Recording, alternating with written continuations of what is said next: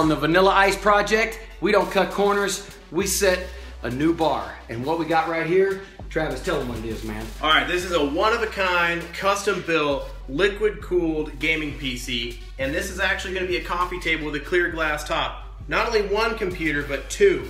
We've got UV bright green liquid in here, ultraviolet lights. This thing is going to light up just like the secret of the ooze. What? Did you say secret of the ooze? Holla and pop your collar.